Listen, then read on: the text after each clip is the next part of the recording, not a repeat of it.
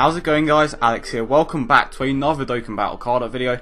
And today we are taking a look at the card for INT Buuhan. Now this scene I couldn't find in the anime. I'm pretty sure that they left this out. But what you guys are seeing right now is volume 42 chapter 309 of the Dragon Ball manga.